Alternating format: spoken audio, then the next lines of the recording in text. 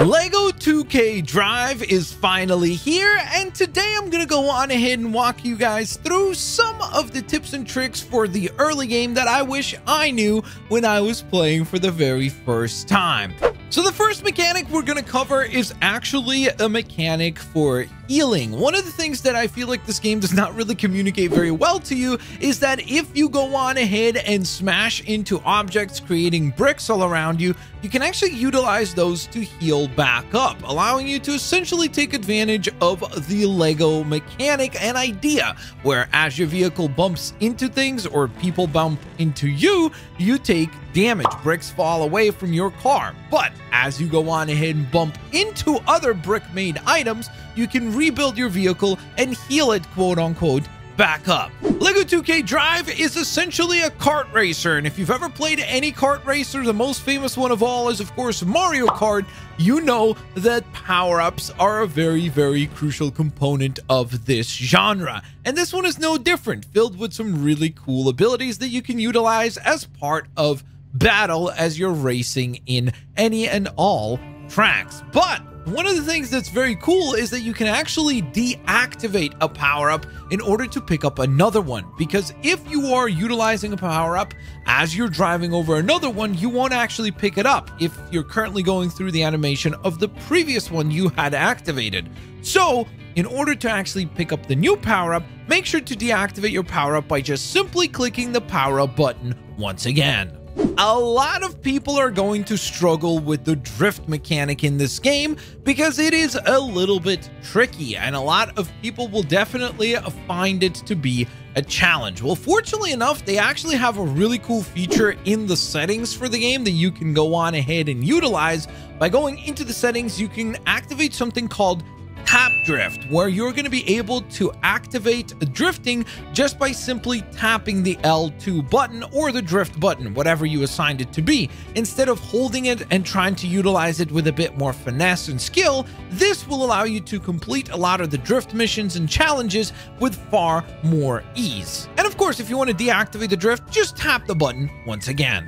The vast majority of the items in LEGO 2K Drive are completely destructible. That means when you drive into them, they will go flying into tons and tons of Lego pieces, as I mentioned before, and actually be utilized to heal up your vehicle.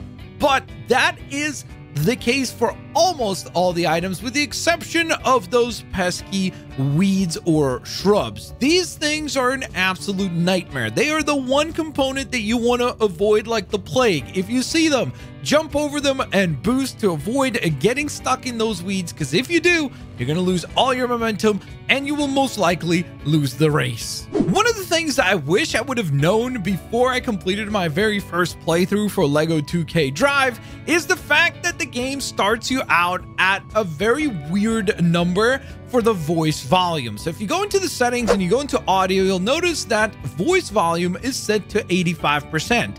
And it's really not that much of a bother until you hit the cutscenes, where multiple times I had trouble to actually hear the voices being delivered from the characters. So I would definitely go into the audio settings and turn that at least up to 90 and ideally 100%. That way you have nice crisp audio for when the characters are speaking five main statistics that you worry about when you play LEGO 2K Drive. Those are top speed, how fast your vehicle is capable of going, acceleration, this determines how quickly you can reach your top speed, handling, which is essentially going to determine how well or poorly you'll be able to steer and handle the vehicle, and health. The healthier you are, the longer you'll be able to survive taking damage, which means the longer you'll be able to stay on track.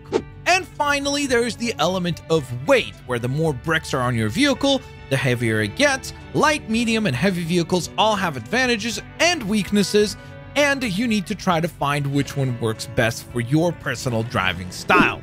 However, one of the things that the game does not really articulate very well is the fact that there is then unique abilities on some vehicles. This is particularly true for the Rivals Collection. The vehicles that you earn from defeating the different rivals across the map reward you with some really unique cars, and the vast majority of these have unique abilities as well, which is something that you need to pay attention to because they will make your life a whole heck of a lot easier in certain situations. So, for example, the Cat Deville has the Yarnet ability, which basically drops exploding yarn balls, but does go on ahead and take a bit more damage from oncoming attacks, but it automatically gives you an advantage when it comes to having an automatic offensive weapon, not having to pick up power-ups. Or if we go over to the Chamfred Wagon vehicle, you'll notice that there's the Money Buys Pain, which damage by smashing props, but you get more boost from them, which essentially means that you're able to destroy things. Yes, you'll be taking a little bit of damage instead of healing, but you'll be collecting boosts, allowing you to maneuver much faster. So obviously these abilities are not going to be broken. They will have a balanced element to them, but they're one thing that makes a lot of these rival vehicles an absolute standout when it comes to racing. When it comes to boosting in a LEGO 2K Drive, yes, you can go on ahead and go through the trouble of holding down X or whatever button you've assigned to your boost and tapping it at a time. Sometimes the issue though, when you are in a very, very high-paced race, you're gonna have trouble remembering that you have some boosts available and you're gonna run through the problem of where you're constantly thinking, wait, I should be boosting right now. I should be boosting right now. Well, the cool thing is that once you hit that B rank, you can just go on ahead and actually double tap X in order to lock in your boost and you will burn the entire boost meter, allowing you to advance much quicker and more sufficiently. And plus, it allows you to then focus on the steering and handling of your car instead of just constantly paying attention to how much of a boost meter you still have left. I found that one mechanic to be so useful, being able to just double tap the X button, in my case on the PlayStation, in order to boost quickly and not worry about managing my boost and instead just worrying about passing my opponents. Plus, it gives you a flame effect so that you can actually knock into enemies. So it is an absolutely powerful, powerful ability. If you love racing games, I know that one of the things that racing game connoisseurs love is different camera angles. And unfortunately, LEGO 2K Drive doesn't really do much as far as that is concerned. But the cool thing is that if you go on ahead and press the R1 button, you can get a much more close in and zoomed in angle of the vehicle that you're driving, giving you a much more dynamic feel than the usual, much more zoomed out and panned up camera view that you'll be playing in. So again, it's not perfect, but at least it does give you an option. And of course, keep in mind when I say the R1 button, that will be different depending on whatever console you're playing on. Everybody loves freedom, and one of the things that is obviously a very identifiable mechanic in the 2K Drive video game is the transformation of the different vehicles. You can go from your road vehicle to off-road vehicle and to a water or a boat vehicle at your own leisure, or at least that's the setting that I wanted to cover. Because if you play the game, you'll notice that the game actually does those transformations for you. So if you drive from a road onto an off-road, you'll see that it transforms. You go from off-road onto water, it will go on ahead and transform again. But maybe you want to control those transformations. Maybe you want to be the one that decides when those transformations happen. Well, fear not because the game does offer you that option and all you have to do is pause your game, head on over to settings, and then under the gameplay options, you'll notice a feature called automatic transformation. It will actually be turned on by default, but if you'd like to turn it off, you just go on ahead and do so. Make sure that you save before exiting, and if you've done that, then as you drive, you can press the L1 button or whatever is the equivalent on your platform of choice, and that will allow you to transform at your own leisure. This means that you can now take off-road vehicles onto roads and vice versa. That means being able to drive your road vehicles off-road, which is probably not that recommended because the vast majority of them will not perform well, but the nice thing is that at least you have the option to control that feature, and it actually does come up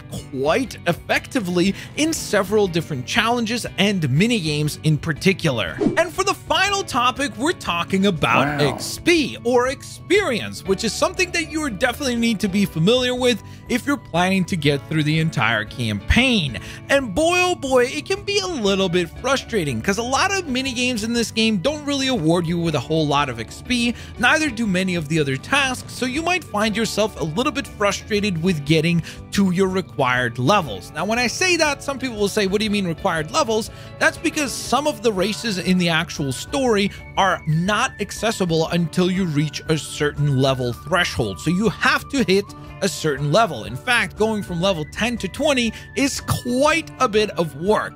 But what I have found to work the best is actually going back to the races that you had available to you and competing in them again because they seem to be the most rewarding when it comes to actual XP. Most of the time giving you at least 150 XP points and in some cases as many as 500 XP points if you're competing at a higher rank, meaning that if you completed a race at the C rank, going through and completing it at the B rank will be very, very rewarding and it is, in my personal opinion and experience, the fastest way to get those pesky levels onto your profile. So there you have it, guys. I hope this helps out. I hope you enjoy this tips and tricks video for LEGO 2K Drive. If you did, please don't forget to hit the thumbs up button, subscribe if you haven't yet, and of course, if you'd like to go on ahead and check out part number one of my gameplay walkthrough for this game, it is currently on your screen. And in addition to that, you can also go on ahead and check out another one of the videos that has gone live on the channel. Thanks all for watching. I'll get you on the next one. Bye, everyone.